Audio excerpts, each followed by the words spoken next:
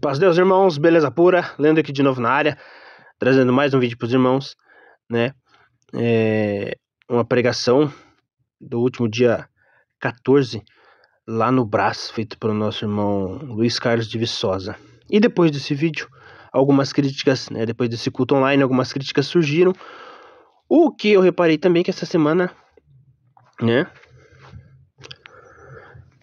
Fez com que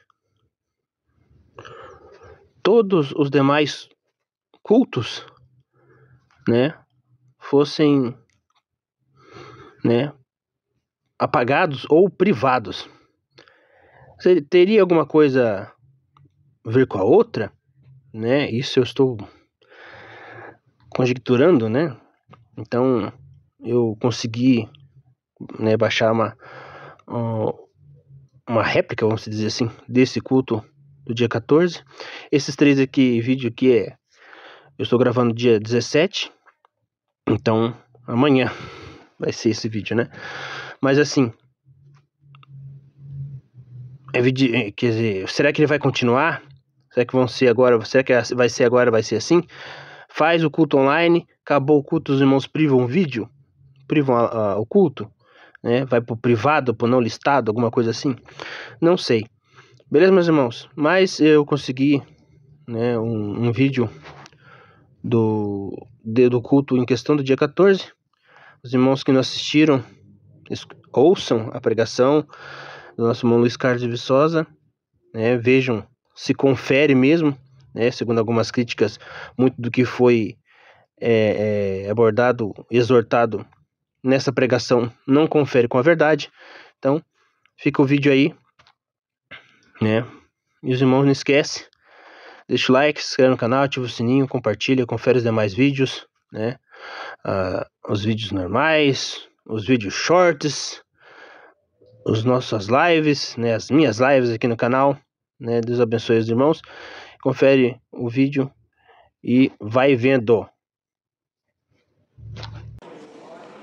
Vamos fazer a leitura, irmãos, na carta do apóstolo Paulo destinada aos Gálatas.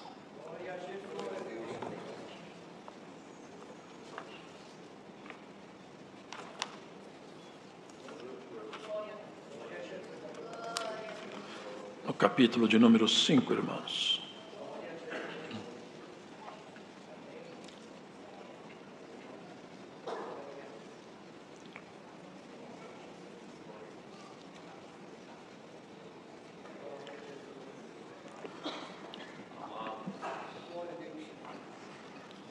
Estai, pois, firmes na liberdade com que Cristo nos libertou, e não torneis a meter-vos debaixo do jugo da servidão.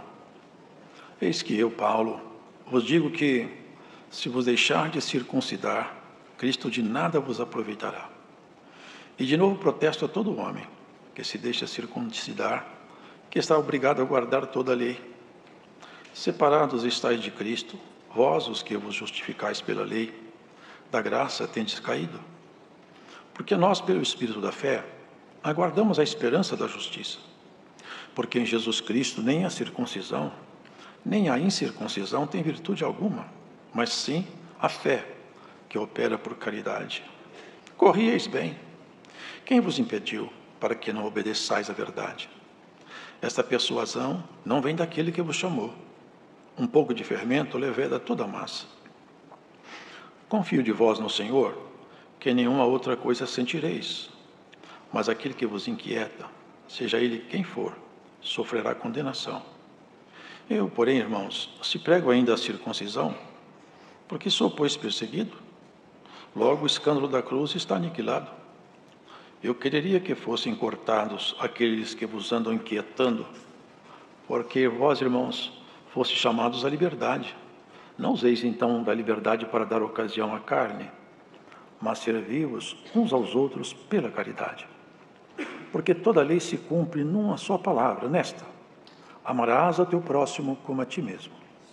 Se vós, porém, vos mordeis e devorais uns aos outros, vede não vos consumais também uns aos outros. Digo, porém, andai em espírito, e não cumprireis a concupiscência da carne, porque a carne cobiça contra o espírito é o espírito contra a carne. E estes opõem-se um ao outro, para que não façais o que quereis. Mas, se sois guiados pelo espírito, não estáis debaixo da lei. Porque as obras da carne são manifestas, as quais são prostituição, impureza, lascívia, idolatria, feitiçarias, inimizades, porfias, emulações, iras, pelejas, dissensões, heresias, invejas, homicídios, bebedices, glutonarias e coisas semelhantes a estas, acerca das quais vos declaro, como já antes vos disse, que os que cometem tais coisas não herdarão o reino de Deus. Mas o fruto do Espírito é caridade, gozo, paz, longanimidade, benignidade, bondade, fé, mansidão, temperança. Contra estas coisas não há lei.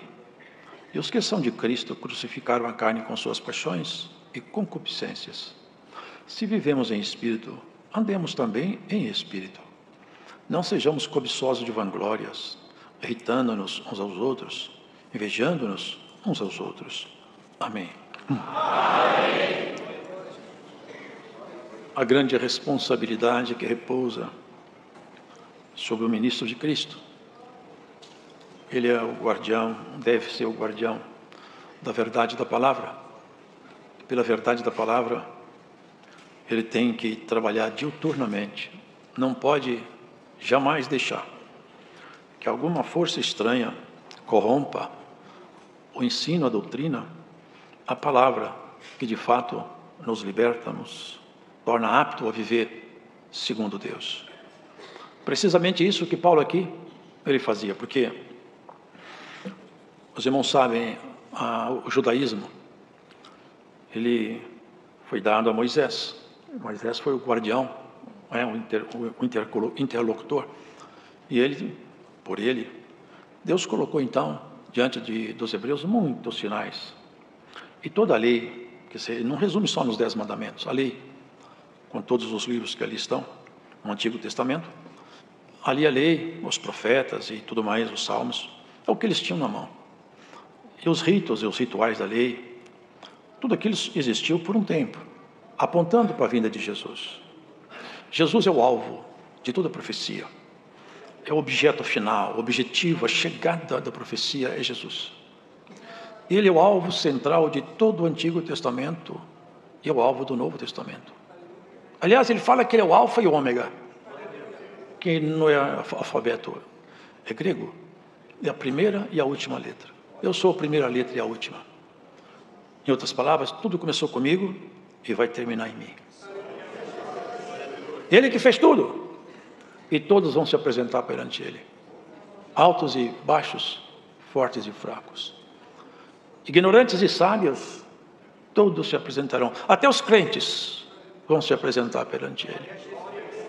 Quem for crente não vai se apresentar para ver se vai ser salvo ou não, mas vai se apresentar perante Ele, serão abertas todas as suas obras, e ele receberá o galardão pertinente àquilo que ele fez debaixo do sol.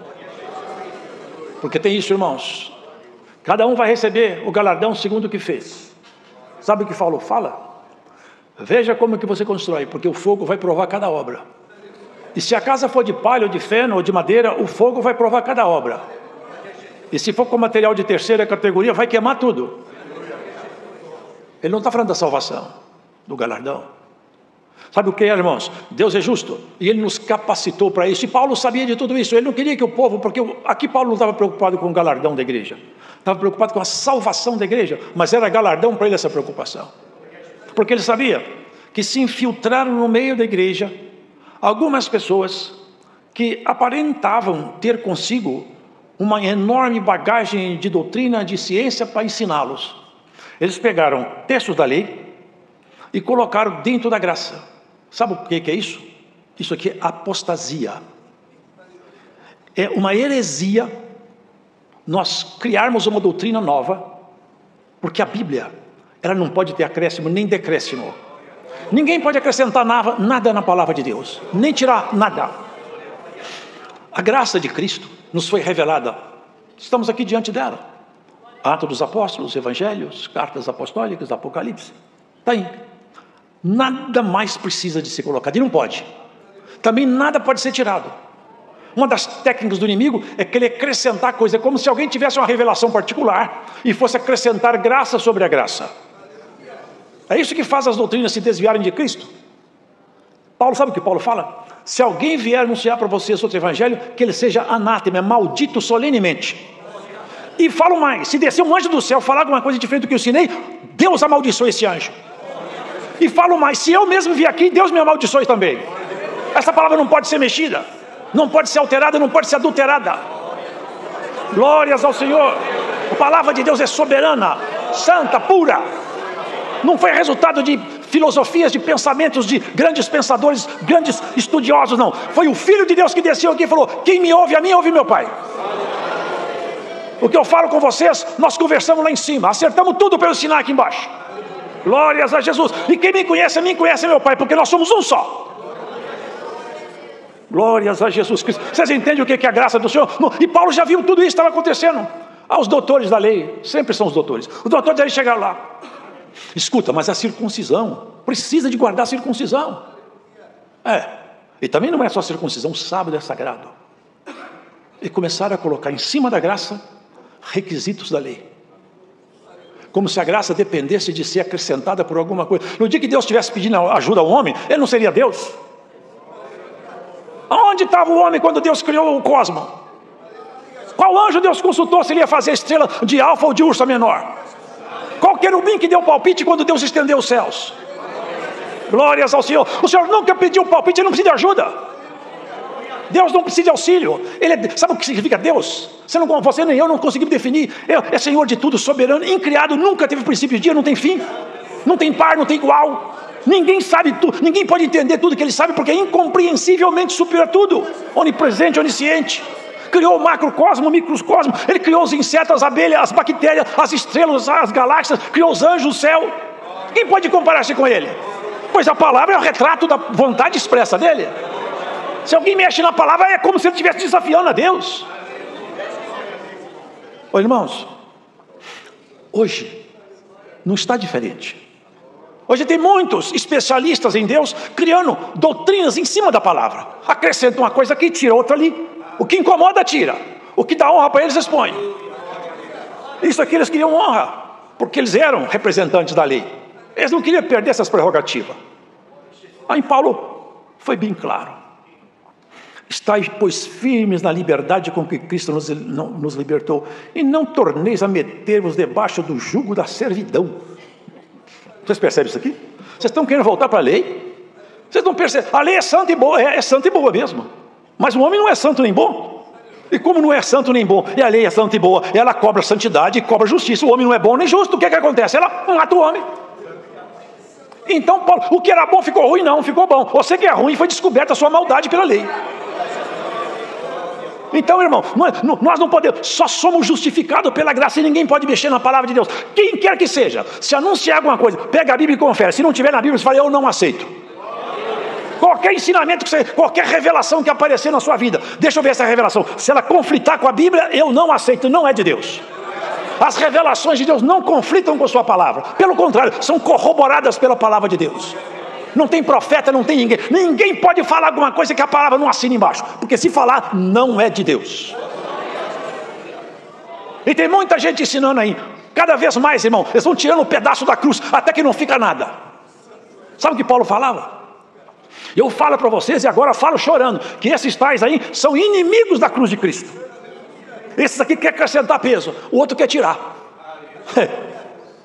É assim que está o mundo. É, mas fica tranquila, Deus é pai, Deus é pai, Ele é pai, mas Ele é fogo consumidor. Ele é pai, mas Ele é justiça. Tem dois jeitos, dois caminhos de apostatar-se de Deus. Apostatar é desertar do caminho de Deus, é uma, é uma deserção espiritual, é um abandono da fé. Um é doutrinariamente. É quando nós vamos caminhando por uma doutrina que ela está margeando a palavra até que ela te leva para outro lugar, não leva mais para o céu. Te leva no colo dos seus mestres. Mas você nunca vai para o céu. Sabe o que o senhor fala deles? São condutores cegos. Deixa eles andar. Deixa eles andar com seus discípulos, que vão todos dois cair no buraco. Eles não sabem para onde vão. Quem vai com ele vai cair junto. Doutrina é a palavra de Deus. Verdade é o evangelho de Jesus Cristo. Não tem ninguém para te pregar uma vida cômoda. Irmãos, nós temos que sair, sabe de quê? Do nosso ambiente de conforto. Achar que está tudo certo, que eu posso fazer qualquer coisa, que de todo jeito eu vou entrar no céu. Não vai entrar no céu de todo jeito. Sabe o que fala aqui? Um pouco de fermento leveda toda a massa. Esse povo está levedando vocês. Ele falou tão forte, olha o que ele falou aqui. É pesado, né? Uma carta está escrita aqui. Eu protesto contra vocês. Se vocês se deixarem circuncidar-se, da graça vocês caíram. Se alguém caiu da graça, onde ele está? O que, que parece a vocês? Se alguém cai da graça, em Deus ele não está mais, em Cristo ele não está mais. Se ele não está em Cristo, em Deus, o que, que aconteceu? Que ele perdeu a salvação. Vocês estão percebendo isso?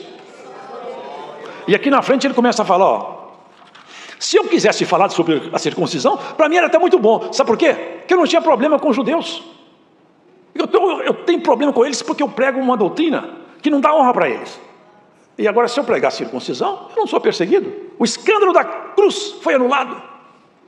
Porque os irmãos sabem que Paulo falava: eu anuncio Jesus crucificado, que é escândalo para os judeus e loucura para os gregos. Os judeus não conseguem aceitar esse Jesus crucificado, e os gregos acham loucura um sábio ser morto na cruz. Esse sábio, esse santo, esse Deus, esse Senhor, esse Rei, rei, sacerdote, cordeiro, ele foi tudo. Morreu em meu lugar e no seu lugar. Levantou-se da morte triunfante, venceu a morte, pegou a chave da morte do inferno e hoje ele tem a chave da morte do inferno na mão. Até para ir para o inferno tem que passar na autorização dele. Ele é que manda em tudo. A morte, até para morrer, ele tem que autorizar que a morte atue. Agora o que fala aqui, ó, frutos da carne: prostituição, impureza, qualquer tipo de impureza, lascívia, idolatria, feitiçaria, inimizade, porfia, emulação, ira, peleja, dissensão, heresia, inveja, homicídio, bebedice, glutonaria e coisas semelhantes a essas, acerca dos quais, das, das quais vos declaro.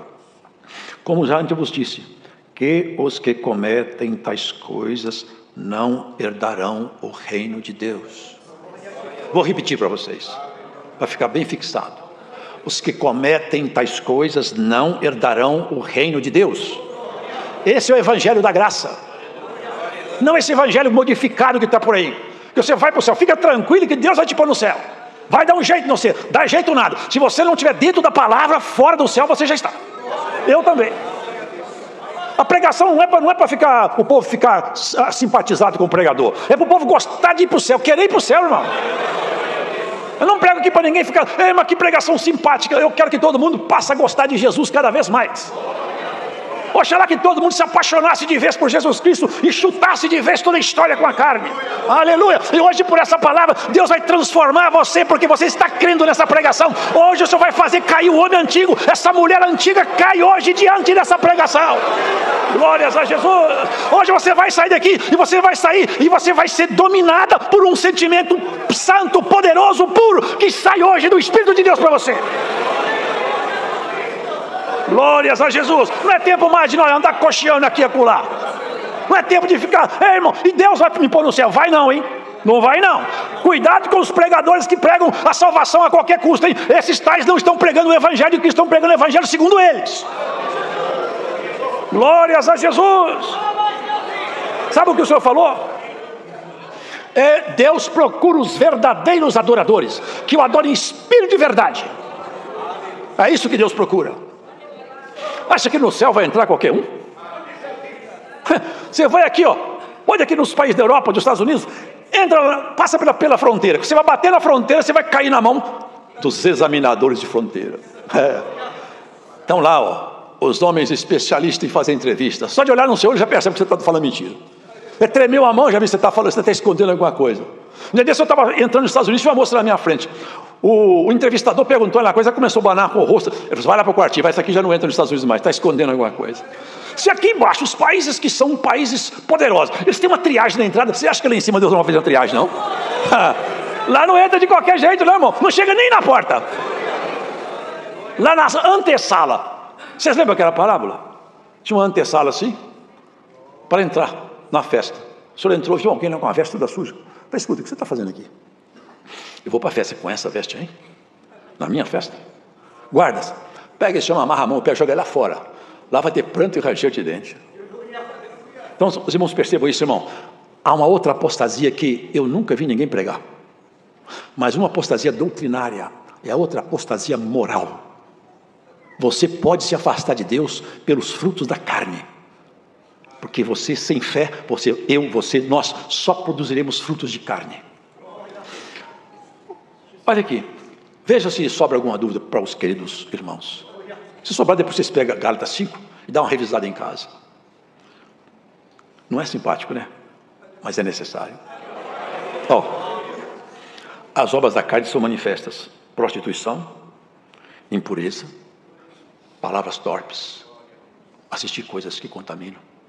Vocês sabiam, irmãos, que um, um, um, carvão, ninguém tem medo de pôr na mão. A brasa, a pessoa tem medo, que vai queimar a mão, mas o carvão.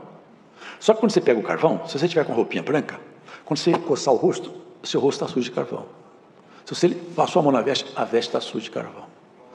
O mundo é assim. Quem é crente não vai direto na brasa. Você não vê que a consciência, ela dói, assim como dói a mão na brasa quente. Mas já no carvão, não dói. E tem muito carvão espalhado em volta de nós aí. Muito carvão. É um filmezinho, é um livro, é uma conversinha ali, a sós, com o namorado, com a namorada. É um relacionamento que está fora do padrão da santidade que o Espírito Santo ensinou. É. Ah, mas eu não fui às vias da consequência, mas você sujou sua mão, você sujou sua veste, você sujou seu rosto, você se manchou todo. Glórias ao Senhor. Não mancha tuas vestes, não suja tua mão, não perca a honra. Cristo te deu o direito de lavar sua veste com sangue de cruz. Essa igreja é para ser santa, pura, limpa. Paulo falou: Eu vou apresentar uma noiva para o senhor bonita, bem vestida, bem arrumada. É uma moça toda cheia de defeito, cheia de sujeira. É isso que Paulo está falando aqui: ó. idolatria, feitiçaria, impureza, lascívia, inimizade, emulação, emulação de disputa, ira, peleja, dissensão, inveja, homicídio, bebedice, glutonaria. Que os que cometem tais coisas não herdarão o reino de Deus. Dá para trocar essa palavra aqui? Dá para acomodar a doutrina estranha aqui? Dá para vocês escutar um pastor pregar que você vai entrar no céu de qualquer jeito? Dá para vocês engolir esse camelo? Não engula camelo, não, irmão. Ponha peso na palavra de Deus. Sede santo, puro, limpo. Esforça que você vai errar. Não, eu também vou errar. Nós vamos errar, mas nós vamos levantar. Senhor, eu não quero errar outra vez. Me sara, me cura, me perdoe, me limpe. Glórias a Jesus. Hoje essa palavra vai limpar muitos que estão aqui ouvindo. A marca do carvão sai da sua mão. A marca do carvão sai da sua veste hoje aqui em nome do Senhor Jesus. Glórias ao Senhor. É. Cuidado onde você põe a mão. Cuidado com o que você fala. Cuidado com o que você olha. Esse é o nosso cuidado, irmãos. Lá na brasa acesa, a gente não põe a mão mas no carvão apagado. Porque sabe o que é o carvão? É que o fogo já passou naquela. Ali era uma madeira. O fogo já passou ali. Já morreu. Ninguém consegue plantar um carvão e fazer ele brotar. Já morreu. Tem pessoas, tem coisas, tem propostas, tem situações que o fogo já passou lá. Não tem mais recurso. É você pôr a mão, é você sujar. Tem pessoas que o fogo já passou nela de tal maneira que elas são irreconciliáveis com Deus. Aonde elas passam, elas sujam tudo. Não encosta em você essas pessoas no convívio íntimo. Queira bem a todo mundo, mas procure andar com quem está comprometido com Jesus Cristo. Ande com quem está comprometido com a salvação. Porque o mundo vai de mal a pior. Agora tudo é permitido. Falar em pecado para essa sociedade, eles não sabem nem o que significa a palavra pecado. Para eles nada mais é pecado. Tudo está autorizado, permitido. Mas para um crente fiel, ele olha tudo, analisa, e não vai. Paulo falava: Eu posso fazer qualquer coisa, eu sou homem livre, mas eu olho bem e falo: Nem todas as coisas me convêm. Tem coisa que eu posso, mas não faço.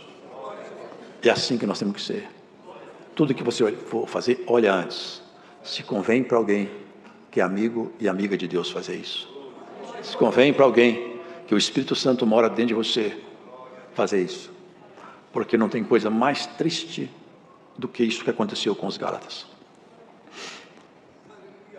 Meu Deus, vocês caíram da graça, olha aí. Vocês iam até muito bem, mas agora vocês fracassaram. Eu quero que seja condenado quem fez isso. Mas estava feito. eles de brasa viva viraram carvão, começaram a sujar outros. Hoje o Senhor, por essa palavra, vai nos dar essa visão clara. Deus é um fogo consumidor que faz dos seus ministros labareda. É. Vai para tua casa, irmão, irmã. Guarda essa palavra. Não tinha nada mais excelente, nada, que poderia ter sido oferecido a você. Você recebeu o que há de mais maravilhoso. Mas você tem que ter caráter para preservar o que você tem. A igreja vai ser salva. Claro que vai ser salva. Alguém pode impedir da igreja entrar no céu? Jamais. A igreja é eleita, ela está predestinada ao céu. Mas eu, enquanto indivíduo, só vou para o céu se eu me fizer parte integrante da igreja. Se eu sair da igreja, a igreja vai e eu fico. Porque a igreja vai. Mas eu vou se e somente se eu fizer parte da igreja. E eu só faço parte da igreja se somente se a fé estiver em mim e ela produzir em mim obras, como foi dito na oração. Que a oração está dentro dessa palavra. Obras do Espírito. Quem tem fé, tem obra. Quem não tem fé, também tem obra, mas obra da carne. Porque aqui não tem ninguém no, em cima do, do muro. O Senhor falou: quem não está comigo, está contra mim. Alguém fala, você não tem nada contra Jesus, mas também não tem a favor, já é inimigo dele. Quem não é por mim é contra mim. Quem comigo não ajunta, espalha. Quem não está do lado dele já perdeu. Porque ele já ganhou a guerra. A guerra já está vencida. Ninguém tem maior amor do que esse. Ele falou: Eu dou a vida pelos meus amigos. Olha que coisa bonita, ainda não chama de amigos. Ninguém tem amor maior do que esse. Ele cobre esse amor de volta. Dá seu amor de volta para ele. Fugindo do pecado e da concupiscência do mundo. Deixa o mundo correr. As pessoas estão indo, deixa aí. Relaxar a fé? Relaxe. Você não. Você não. Ah, mas também aqui essa congregação aperta muito a doutrina. O senhor não foi a congregação que apertou, foi Jesus Cristo. Ele falou que o caminho é apertadinho, a porta era estreita, não passava muita coisa. Mas é para aqueles que são salvos. Porque também a estrada do mundo é larga demais e a porta é larga que passa tudo por lá: prostituição, mentira, inimizade, porfia, crime, toda sorte de miséria passa lá. Mas o final é o abismo. Nessa estradinha apertada, lá na frente o Senhor está te chamando: ei, vem cá. Chegou o dia de nosso encontro. É o dia da felicidade. O dia mais feliz nosso. Esse dia não vai, ficar, não vai virar noite. É um dia que nunca mais vai acabar. É o dia que nós encontrar o Senhor. Vai ser o dia mais feliz da nossa história. Nunca mais nós vamos chorar. Nunca mais nós vamos ter desemprego. Nunca mais a mãe vai chorar por cada filha, nem por cada neta. Nem o pai vai chorar pelo filho. Nunca mais a esposa vai chorar pelo esposo. Nunca mais o esposo chora pela esposa. O tempo de lágrima é só aqui. Fica firme nessa fé bendita que Cristo pagou caro para você receber. E não sai daqui, porque a igreja vai para o céu. Mas você só vai se você estiver fazendo parte integrante dessa igreja. Deus seja louvado. Agradecemos a Deus em oração. Então tá lá, meus irmãos. Esse foi mais um vídeo aqui no canal, né? Mais uma exortação de palavra. Eu não tenho muito costume de trazer esse tipo de conteúdo aqui no canal. Porém, é, foi o que eu percebi. Depois dessa pregação, veio a crítica e depois, em seguida, os irmãos privaram todos os vídeos, né, todos os cultos online lá do canal oficial da congregação. Posso estar eu, né, é, é, os irmãos podem conferir de novo, né, ó, clica aí, vai lá no canal oficial, não tem mais cultos passados. Só esses que vai ver que vai acontecer ainda no momento que eu estou gravando o vídeo, né? Então, assim, posso estar enganado, uma coisa pode ser que não tenha nada a ver com a outra, ou os irmãos acham que tem a ver, né? Segundo a, a, as críticas, é, é, é, o que foi exortado, muito do que o irmão é, Luiz Carlos falou, não condiz com a realidade. Possa ser que não condiza com a, né, com a, a realidade geral, Possa ser que na sua comum aí isso seja real, né? Tudo que o Luiz Carlos falou, né? Então escreve, deixa nos comentários aí, é, a sua opinião, o que você acha? Você acha que eu tô viajando na maionese? Não tem problema. Se você né? Não gosta que, que fale alguma coisa, por isso que eu nem vou, nem vou analisar ou falar alguma coisa da, da pregação do Mon Luiz. Deixa isso para quem é crítico. Dessa vez não vou falar nada. Tá bom, meus irmãos? Mas assim, se for escrever alguma coisa, escreve sempre, tanto no meu canal quanto qualquer outro canal. Escreve com respeito, respeita a opinião dos outros. É, você pode discordar, não tem problema nenhum. É, mas desde que seja com respeito e desde que não tenha palavrões, tá, irmãos? Eu tô pedindo isso por causa que a plataforma tá exigindo. Beleza, meus irmãos? Mais aqui a respeito do assunto. Né? Se você acha que eu estou viajando na maionese, que não tem nada a ver com o que eu falei, escreve aí também. Se você percebeu alguma coisa na pregação do Mão Luiz que não condiz com a realidade, escreve também. Beleza, meus irmãos? E assiste os demais vídeos aqui do canal, as lives, né? Eu, eu sempre faço os cortes para fazer os vídeos shorts também, né? Sempre trazendo temas dentro da congregação, da música e de outros assuntos também. Tá bom, meus irmãos? Então Deus abençoe a todos. Até os próximos vídeos. Vai vendo!